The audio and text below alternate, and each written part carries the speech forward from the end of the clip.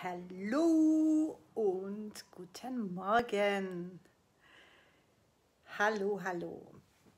Ja, gestern hatten wir ja einen wunderbaren Adventsvortrag. Das war also auch der längste letztendlich, der letzte und der letztendlich der längste, weil wir noch so tolle Gespräche, ja, Erörterungen würde man es in der Schule nennen, am Schluss hatten.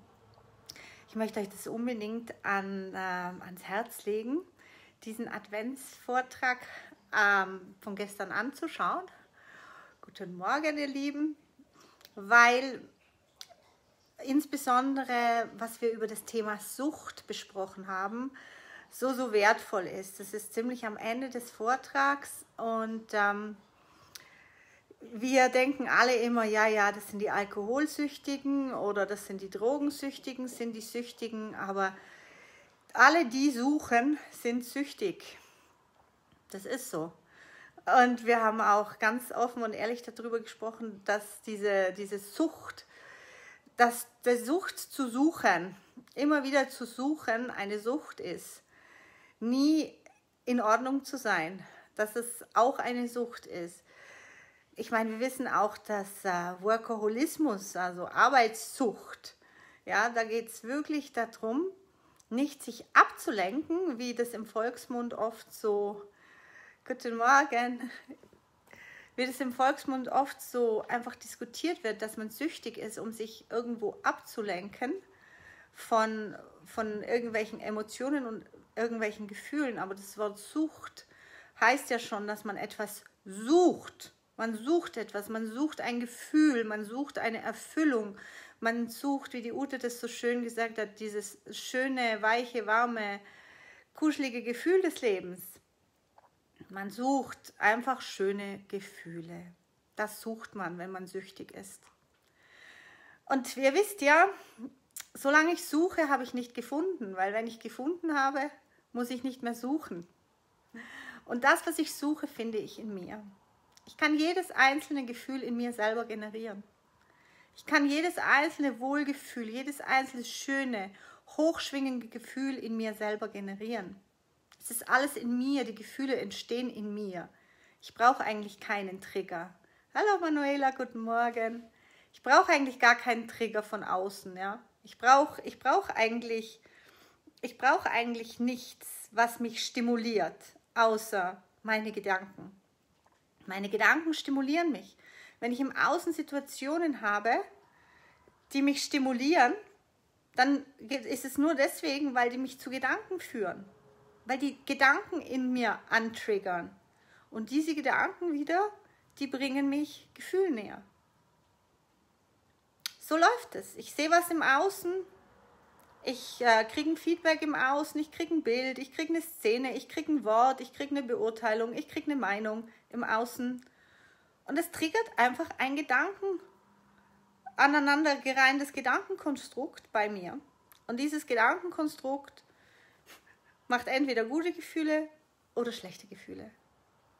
So läuft es ab. Wenn ich frei und unabhängig bin, reagiere ich nicht darauf. Ja, das sagen die ja auch im Buddhismus und, und in vielen spirituellen Lehren. Nicht reagieren. Okay. Wieso, weshalb, warum, oder? Das will immer unser Verstand wissen. Wieso ich soll ich nicht reagieren? Weil es fake ist. Weil es Fake News sind.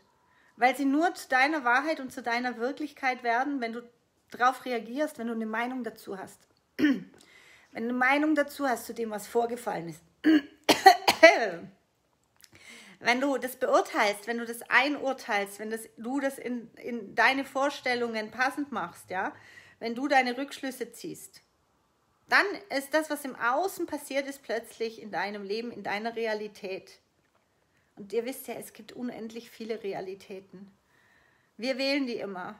Wir wählen die jeden Moment. Wählen wir, in welcher Realität wir sind, mit was für einer Persönlichkeit wir in dieser Realität sind.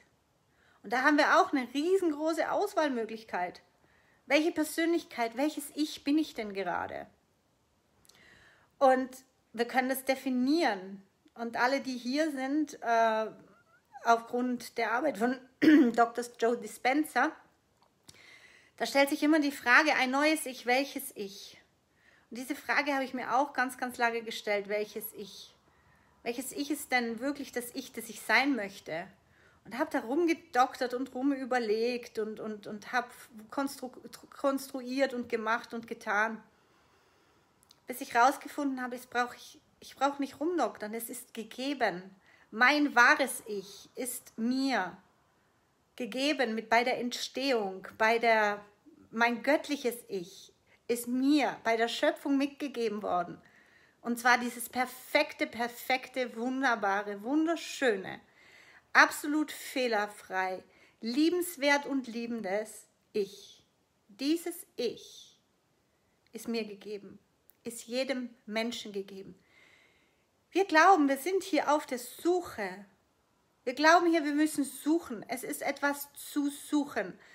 Aber es ist wirklich nur das zu finden, was schon da ist. Es geht um darum, dass wir hier sind, um das abzukratzen. Ja, genau. So viele Menschen, so viele Stories. Um diese ganzen Stories abzukratzen, die es gibt. Und aufhören, uns mit diesen Stories zu identifizieren und diesen einfachen, diesen absolut einfachen und simplen Weg zu gehen und einfach anzuerkennen, dass dieses göttliche Ich, kannst es höheres Selbst nennen, was gibt es noch für Worte? Meine Seele. Aber auch da hat man immer so den Eindruck, dass es für jeden unterschiedlich ist. Aber ihr wisst ja, wir sind alle eins. Wir sind alle gleich. Und zwar auf dieser Ebene auf dieser Ebene, auf der göttlichen Ebene, auf der göttlich und die göttliche Herkunft, die macht uns gleich. Ich meine, die Bibel versucht uns das ja zu erklären, irgendwie mit Vater Gott und so weiter und so fort, dass wir alle den gleichen Vater haben. Aber das ist ja nur Sinnbild dafür, dass wir alle aus dem Göttlichen, aus dem Perfekten, aus dem Fehlerfreien, aus der Liebe, aus all diesen hohen Gefühlen, hochschwingendsten Ideen entstanden sind. Das ist das, was uns vereint.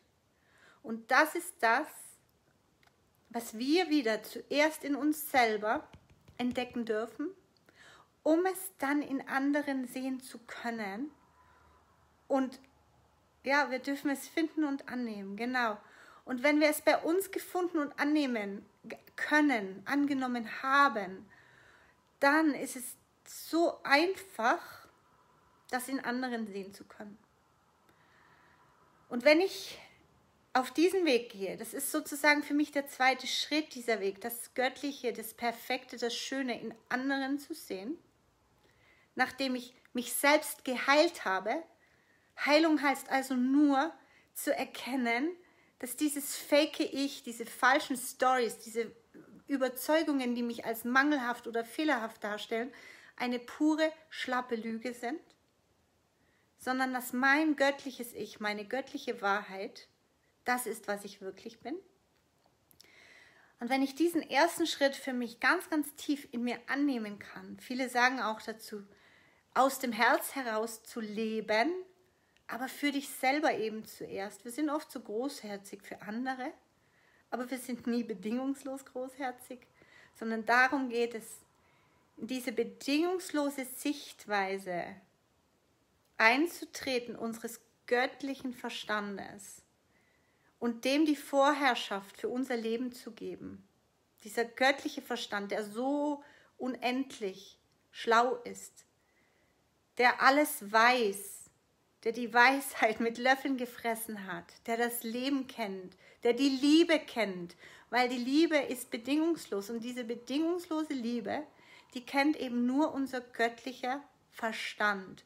Und das ist eben diese liebende Intelligenz, die göttliche Intelligenz, die intelligente Liebe, wie es Dr. Joe Dispenza nennt. Und wenn diese intelligente Liebe die vorherrschende Energie in unserem Leben ist, dann ist sie auch die vorherrschende Energie in unserem Körper und führt zu absoluter Heilung. Sie führt zu absoluter Heilung auch mental, emotional, wenn wir es zulassen, diese vorherrschende, intelligente Liebe, liebende Intelligenz, Christusenergie ist genau dasselbe. Die Kirche meint gute Sachen. Die Bibel hat alles richtig geschrieben. Die Kirche hat es fehlinterpretiert. Es steht alles in der Bibel, dem ersten Buch, das es für uns gibt. Ist das alles schon drin und da ist unsere Macht beschrieben. Diese Macht, dass wenn wir uns verbinden mit unserer göttlichen Wahrheit, mit unserer göttlichen Intelligenz, dann sind wir absolut in der hundertprozentigen Macht. Und diese Macht kann niemals negativ sein. Diese Macht ist immer positiv, weil sie aus Liebe besteht. Weil das die Schwingung ist, die kreiert, die wirklich die Wahrheit kreiert. Und diese Schwingung heilt. Heilt uns auf allen Ebenen. Und damit wir uns mit dieser Schwingung wirklich verbinden können, müssen wir die Blockaden aus dem Weg räumen, die eben diese Geschichten sind, die Überzeugungen sind, die Glaubenssätze sind, dass irgendetwas eingeschränkt, beschränkt oder bedingungsvoll ist. Und sobald du merkst, dass du an irgendetwas eine Bedingung setzt, dann hast du die Türe zugemacht. Und deswegen ist ja auch die Arbeit von Dr. Joe Dispenza so, dass es sagt, du sollst diese Tür aufmachen, du sollst meditieren, früh morgens, bevor dein Verstand die Türe wieder verschließt. Aber die wahre Arbeit ist eben nach dieser Meditation, dass du einer, eine wirst, die die Tür immer offen hat, die so denkt wie das Göttliche, wie die göttliche Intelligenz. Weil sonst machst du eine Stunde, zwei Meditation am Tag, hast die Tür schon weit offen, gehst raus in dein Leben und weißt nicht, wie du denken sollst, damit die Tür offen bleibt, damit du in Verbindung und Anbindung bleibst. Das haben wir nicht gelernt, das hat niemand gelernt. Das müssen wir uns selber beibringen. Das ist das Übungsfeld des Lebens. Darum geht's. Suche nicht nach dem Sinn des Lebens. Der Sinn des Lebens ist gegeben. Du bist hier, um das zu lernen, um aus deiner göttlichen Intelligenz heraus zu fühlen, denken und zu handeln, um aus deinem göttlichen Verstand heraus die Welt zu sehen und anzunehmen in kompletter Liebe und Perfektion. Und das kannst du nur, wenn du es gelernt hast, es für dich selbst als erstes zu tun. Das ist das Einzige, wo die Fluggesellschaften wirklich Vorreiter sind und sagen, schnall dir erst die Sauerstoffmaske selber an, bevor du anderen hilfst. Genau um das geht's. Und es wird wichtiger denn je sein nach Weihnachten, dass du diese Nachricht gehört hast. Und dass du weißt, warum du hier bist und dass du weißt, was es jetzt für dich bedeutet als nächsten Schritt diesen Schritt für dich zu gehen, dir die Sauerstoffmaske selbst anzusetzen, aufzusetzen, damit du den anderen helfen kannst. Dazu bist du hier. Such nicht mehr. Es gibt nichts zu suchen. Es gibt keine Berufung, keine andere als diese. Wie sich das dann nachher auskristallisiert, im Detail, individuell für dich persönlich, das wirst du sehen. Das wird dir Freude machen. Aber das musst du nicht suchen. Das ergibt sich selber. Das Einzige ist, du musst dich bereit erklären, diesen Weg zu gehen für dich als allererstes. Und das hat nichts mit Egoismus zu tun, so ist es einfach nur mal gedacht. Und das, wenn wir es selber für uns klar haben, dass wir dann anderen helfen können, es klar zu kriegen für sich selber. Allein schon nur durch das Beispiel unseres Lebens. Du musst nicht irgendwie Coach oder was werden, wenn du das nicht möchtest. Aber das Beispiel, das du gibst für andere, nur allein, weil du lebst und wie du lebst, ist so wichtig. Du bist so wichtig. Was du tust, ist so wichtig. Und das anzuerkennen und zu sagen, ja, es ist wichtig, dass ich bei mir ankomme. Es ist wichtig, dass ich glücklich bin. Es ist wichtig, dass ich meine Wünsche und meine Träume auslebe. Es ist wichtig, dass ich hier bin und strahle wie ein Sonnenstrahl. dafür bin ich hier, das ist mein Job, das ist meine Aufgabe. Raus aus diesem Dunklen, raus aus diesen dunklen Gedanken und Vorstellungen des Lebens, wie das Leben ist, wie das Leben funktioniert, was das Leben bringt, was das Leben tut. Es ist wichtig, dass jeder Einzelne da rausgeht. Ja, sehr, sehr, sehr gerne, Manuela. Es war mir halt einfach so eine Inspiration, weil es stehen die Festtage da vor uns und einfach zu verstehen, um was es geht und einfach loszulassen aus, an dem Außen und zu uns nach innen zu kommen und hier in Liebe mit uns selbst zu arbeiten, uns aus dieser göttlichen Perspektive anzuerkennen und zu sehen mit so viel Liebe und Mitgefühl für uns selbst und das dann für die anderen zu haben. Es gibt nichts Schöneres, es gibt nichts Erfüllenderes. Und dieser zweite Schritt ist so schwer. Viele nennen es, geht es ums Verzeihen. Aber ich sage dir, das Verzeihen, was willst du verzeihen, wenn nie was Schlimmes passiert ist? Was willst du verzeihen dem Leben? Es ist Leben gewesen. Da gibt es nichts zu verzeihen dem Leben. Du bist hier und hast gelebt. Hier gibt es Dankbarkeit zu huldigen. Mir kommt immer dieses Wort zu huldigen in letzter Zeit über Kopf. Da gibt es nichts zu verzeihen. Das ist alles gut und richtig. Und wenn alles gut und richtig ist, brauchen wir nichts zu verzeihen. Wir dürfen nur erkennen, dass alles gut und richtig ist. Und schon müssen wir nicht schwer verzeihen irgendwelchen Menschen, irgendwelchen Situationen, sondern das ist das Leben. Das ist das Leben. Und das Leben ist großartig mit all seinen Facetten. Und es hat sich so wunderbar ergeben aus diesen Adventsvorträgen.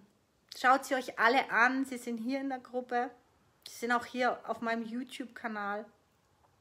Schaut sie euch an, schaut euch diese Frauen an. Hört euch an ihre Lebensgeschichte.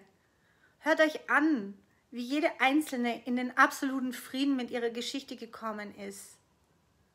Und dann erst weitergehen kann. Schaut euch an, wie jede Einzelne erkannt hat, dass das Leben großartig ist. So viele Schicksalsschläge, so viel Schmerz, so viel Leid, so viel Trauer in dem Leben von jeder Einzelnen und am Schluss so viel Strahlen, so viel Lebensbejahung, so viel Dankbarkeit, so viel Freude und so viel Liebe. Schaut es euch an. Ich bin so dankbar, dass diese Inspiration jetzt hier ist und sie ist eine Energie, die wir hier in unser Universum gegeben haben. Guten Morgen, Angelika. Schaut euch diese Vorträge an. Es ist wirklich, wirklich wunderbar. Und ich bin wirklich sowas von dankbar, dass so viele Frauen, klar, sie waren alle in meinen Coaching-Programmen, das habe ich aber nicht bewirkt bei ihnen, sondern ich habe es ihnen den Raum gehalten, zu kommen, zu scheinen und dazustehen, weil ich wusste, dass sie großartig sind und scheinen. Und darum geht es. Und darum geht es nicht nur, dass ich das tun kann, sondern es kann jeder von euch für eure Liebsten tun. Hi, guten Morgen, Tine. Wir eröffnen diese Räume für die Menschen, dass sie wunderbar sind, aber das können wir nur, wenn wir selber uns dessen bewusst sind, dass wir das können und dass wir das sind. Der Raum, in dem alles ist, in dem alles wunderbar ist. Ja, Schaut euch nochmal vielleicht auf Soundcloud, das ist auch noch die Links hier, da diese Divine Music an. Da kommt alles raus. Das sind alles gechannelte Messages mit wunderbarer Musik. Ihr könnt sie noch finden auf Soundcloud. Mit dem Soundcloud-Link sucht einfach irgendwie Soundcloud oder so hier in der Gruppe. Vielleicht poste ich es auch nachher nochmal unter das Video. Irgendwann mal wird das Ganze als Package verkauft könnt es dann kaufen in verschiedenen Längen, in so verschiedenen Zusammensetzungen, aber es ist wirklich mega, mega schöne, inspirierende Musik, voll mit Liebe. Das ist ein Geschenk von mir. Ich poste es hier nochmal drunter unter das Video. Und alle, die jetzt später noch dazugekommen sind, jetzt hier in dieses Live, hört es euch nochmal von Anfang an. Es sind wirklich wichtige Nachrichten, die ich da heute für euch bekommen habe. Und der Witz ist ja, es sind ja eigentlich die Nachrichten, die ich für mich bekomme, aber da wir alle eins sind, sind es ja die Nachrichten, die für uns alle wichtig sind. Ich sage nicht, dass ich hier jetzt ein Channel-Medium bin oder so, weil das hat irgendwie so einen komischen Geschmack, weil jeder von uns kriegt diese Nachrichten. Aber macht euch das zur Angewohnheit, dass ihr entweder so wie ich irgendwelche Videos macht, dass ihr diese Nachrichten teilt, diese Klarheit teilt, die euch zukommt. Dass es ihr aufschreibt oder irgendwie diese Energie, es ist ja Energie, die zu Information wird, hochschwingendste Energie, die zu Information wird, die raus darf ins Universum. Du bist wie so ein Katalysator auch, wenn du diese hochschwingende, wunderschönen Gedanken und Energien empfängst dann ist es dazu da, dass du es teilst, dass es rausgeht. Wie leicht ist es, die Dinge zu teilen und zu motzen, sich Sorgen zu machen, seinem Partner, seinen Liebsten zu sagen, oh mein Gott, wie sollen wir die Rechnungen zahlen? Oh mein Gott, wie sollen wir ähm, das wirklich in diese, diese, diese Klagerei reinzugehen, ist so leicht. Wir haben es so gut gelernt. Aber jetzt in dieses Huldigen reinzugehen, in dieses Juhu und, und großartig und so weiter und so fort, das dürfen wir uns angewöhnen. Und je mehr Leute sich das angewöhnen, stellt euch das mal vor, wir sind einfach nur am, am Freude teilen, am schöne Energie, schöne Gedanken teilen hier unterwegs. Wow, was wird das für ein Leben? Und so können wir schon ins 2021 reinstarten und uns in diese Energie begeben.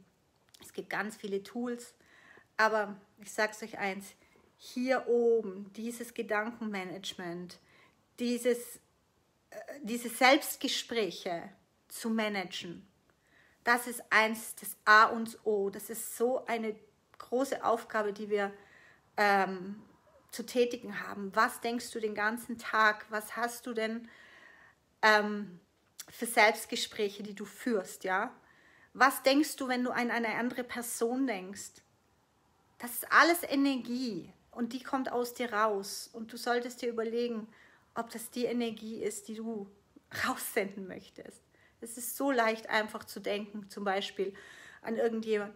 Du denkst an jemanden und sagst, ach, wieso macht der oder die das und das nicht? Wie oft denkst du das?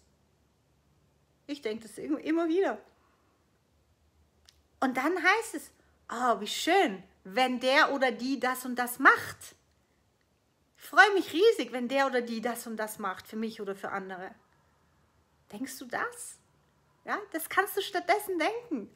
Und jedes Mal, wenn du merkst, du denkst irgendetwas in diese Richtung, oh mein Gott, wieso nicht und wieso das nicht und wieso das nicht, dass du das dann umdrehst.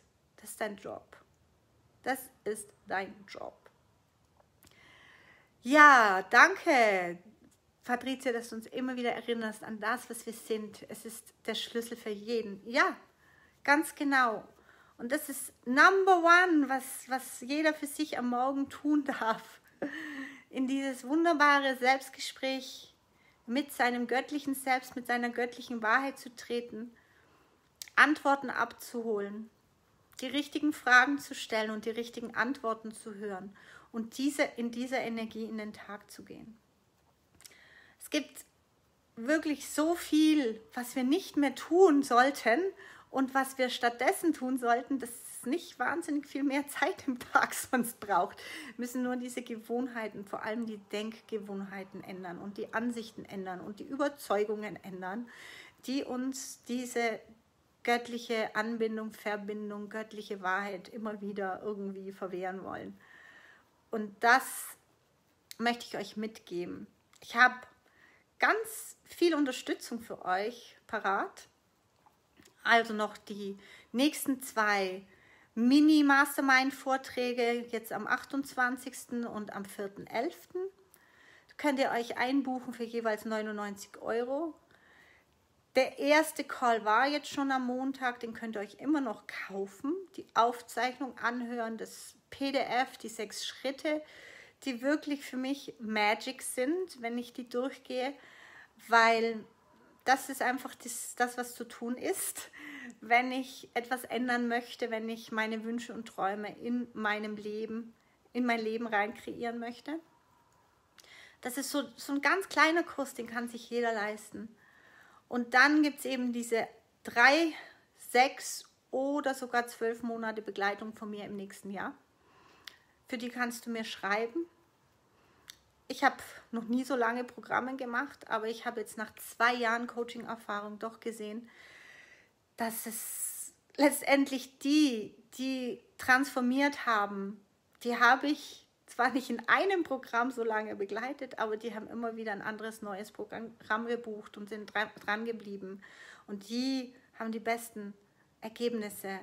Und wenn du dir das denkst, dass du, dass du einfach sagst, ich nehme jetzt ein Jahr für meine Transformation, ich nehme jetzt ein Jahr dafür, dass ich dort ankomme, wo ich glücklich, frei und fröhlich bin, boah, Hammer. So viel Zeitersparnis. Also ich will ja nicht arrogant sein, aber wenn ich mich selbst gefunden hätte als Coach, wirklich, dann, äh, ich habe mich ja auch übrigens selbst gefunden als Coach, aber ich, es hat so lange gedauert, bis ich wirklich der richtige Coach für mich selber geworden bin. Und ich hatte natürlich auch andere Coaches auf dem Weg. Und das ist auch das, was ich für dich möchte, dass du letztendlich der richtige Coach für dich selber bist aber nicht glaubst, dass du alles alleine wuppen musst, sondern dass es da ganz viele gibt, die dir helfen können und die dich unterstützen können. Und jetzt auch in diesen Masterminds, die ich gehabt habe dieses Jahr, das sind so schöne Verbindungen zwischen Frauen entstanden, die sich vorher nicht kannten, die sich jetzt kennengelernt haben und die wissen, diese Frau versteht mich und diese Frau kann mir helfen. Ja, auch untereinander es ist so wunderschön, wie jede, jede Frau ihr eigenes Geschenk eben mitgebracht hat und dieses Geschenk anderen zur Verfügung stellen kann.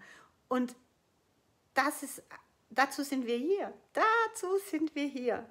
Und früher, ganz, ganz früher war das ja mal so, wenn ihr euch daran erinnert, aus den Geschichten, dass man früher wirklich, dass jede Frau eigentlich als Heilerin angesehen war, auch noch jetzt in Indianerstämmen und äh, sonstigen, ähm, ähm, äh, es fällt mir nur das englische Wort ein, aber diese Naturvölker noch, oder? Da ist es ganz klar.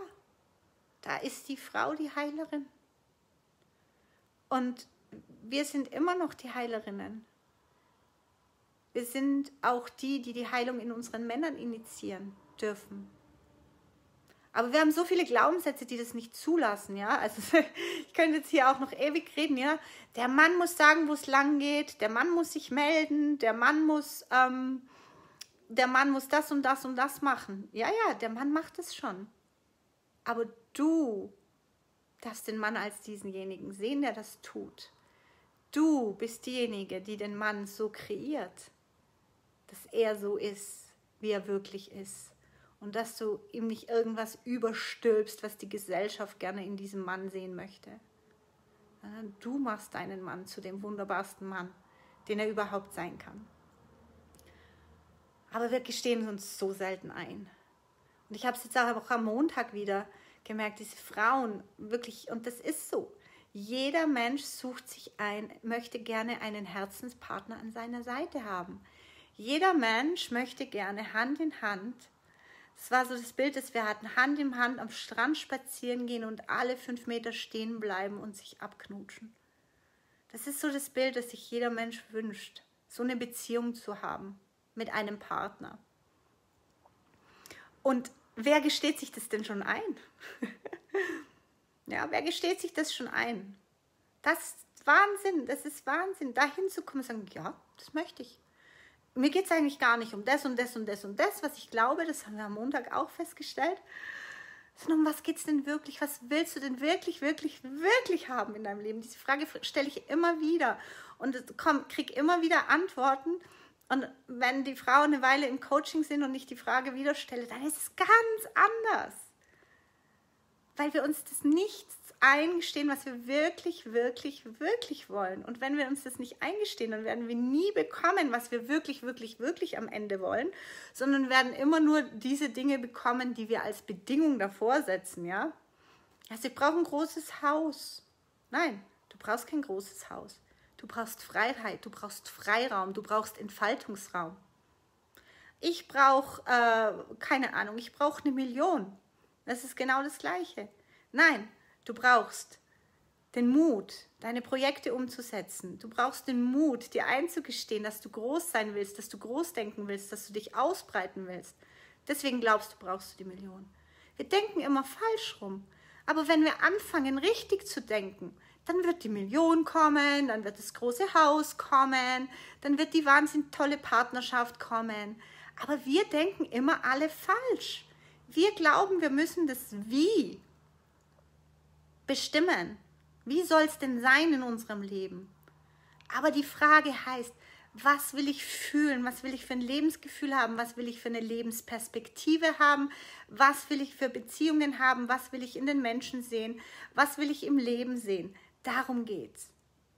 Und diese Frage zu bearbeiten und so tiefgründig zu bearbeiten, dass sie in dein Unterbewusstsein einen Platz hat, so, dass du dorthin geführt werden kannst, dass du dieses Leben und diese, dieses Leben führst. Das ist der Job. Und diesen Job machen wir im nächsten Jahr auch in meinen Coaching äh, in meinen Coaching Programmen. Du bist herzlich eingeladen, dich bei mir zu melden, entweder über private Nachricht hier oder per E-Mail.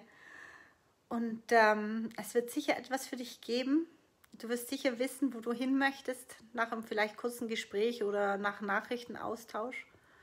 Melde dich bei mir. Es wird dein Leben verändern. Ich sage es immer wieder, aber ich weiß es einfach. Weil schon alleine nur dieser Call am Montag für diese Frauen, die da waren, hat, hat das Leben schon verändert. Also, du kannst dir diesen Call holen. 99 Euro. Kannst schauen, wie ich coache für 99 Euro. Du kannst schauen, was da passiert. Für 99 Euro kriegst du die Aufzeichnung und du hast die Möglichkeit, nochmal für 99 Euro nächsten Montag dabei zu sein und für 99 Euro am 4.1. dabei zu sein. Du kaufst keine Katze im Sack, wenn du dieses Programm dir gönnst. Deswegen habe ich es extra gemacht, weil ich will auch nicht, dass irgendjemand enttäuscht ist und dann äh, sieht, ja, wie, wie, wie, wie macht sie denn die Calls, was passiert denn da, um was geht es denn da. Schau es dir einfach an es ist alles offengelegt. Du hast in den Adventsvorträgen Frauen gesehen, die bei mir in den Coachings waren.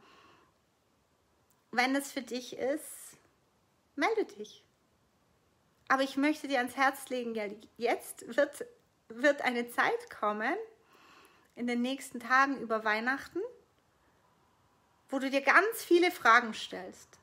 Es wird eine Zeit kommen, wo du nichts mehr verstehst. Es wird eine Zeit kommen, wo du nur noch Fragezeichen hast. Und wenn du Antworten brauchst, denk dran, ich bin hier, ich habe die Antworten. Und ich habe so lange die Antworten für dich, bis du selber die Antworten für dich hast. Es geht nicht darum, dass ich so toll bin. Ich mache dir die Türen auf. Ich zeige dir den Weg.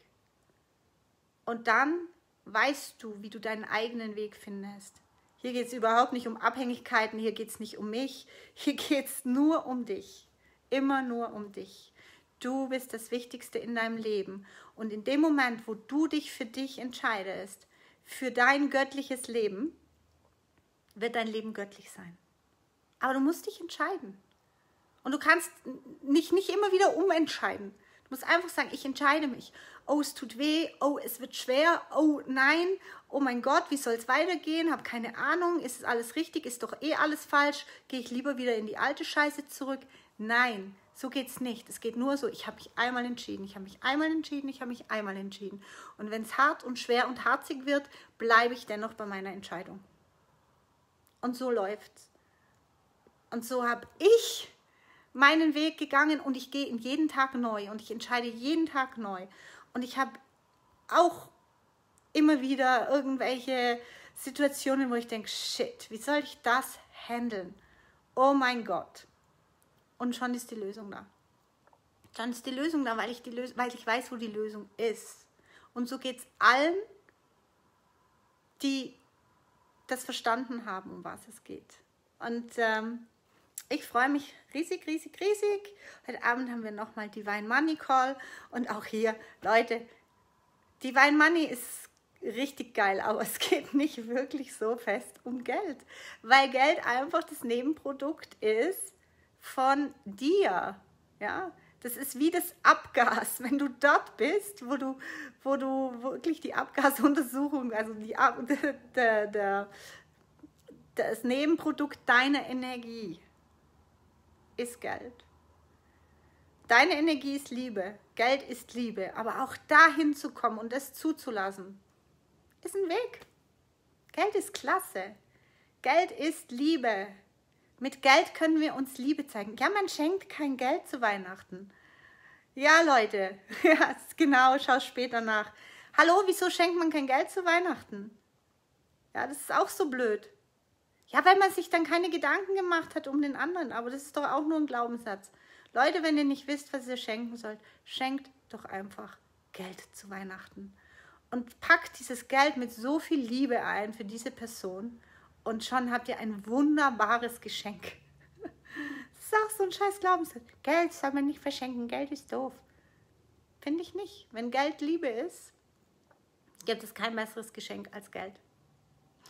Also ihr Lieben, ich wünsche euch ein ganz schönes Weihnachten. Und ähm, ja, morgen ist der 24. In unseren Gefilden wird ja da gefeiert. Ich feiere auch mit meiner Schwiegerfamily, mit meinem Ex-Mann. ähm, ich freue mich riesig. Äh, das ist meine Family. Mein Ex-Mann ist mein bester Freund. Hat mich belogen, hat mich betrogen, hat mich verarscht, vor vielen, vielen Jahren hintergangen. Und ich sage es immer wieder gerne, weil es immer wieder noch Frauen oder, oder, oder vielleicht auch Männer gibt, die ihre Ex-Partner verteufeln. Macht es nicht. Macht es nicht. Macht eure Ex-Partner zu den tollsten Menschen der Welt. Es fühlt sich so gut an und du kriegst so viel geschenkt, wenn du das Göttliche in all deinen Exen siehst. Und vor allem, wenn du Kinder zusammen hast. Wenn das nicht geregelt ist in deinem Leben, wenn da noch irgendein Graul und ein Hass ist, irgendeinem Ex gegenüber oder irgendeinem Menschen gegenüber. Aber das Schlimmste sind die Ex-Partner, mit denen man Kinder hat. Ist scheißegal. Komm in Frieden damit. Sehe die Göttlichkeit in dieser Person. Aber das kannst du nur, wenn du zuerst die Göttlichkeit und das Wahre in dir selber siehst. Das ist der Weg, das ist der Job. Aber aus meiner Sicht muss es niemanden auf dieser Welt geben, der irgendwo Partnerschaftsstreit hat oder, oder sonst irgendeinen Streit mit irgendeinem Ex. Du kannst es drehen. Du bestimmst, wie die Menschen in deinem Leben sind. Darüber sprechen wir übrigens auch in diesem kleinen Mini-Mastermind für 99 Euro. Also, tschüssi!